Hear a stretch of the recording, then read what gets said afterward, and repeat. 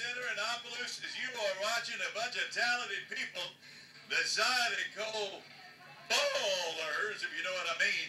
We're going to be right back. Roll those birthdays. We'll come back on GMA for Wednesday.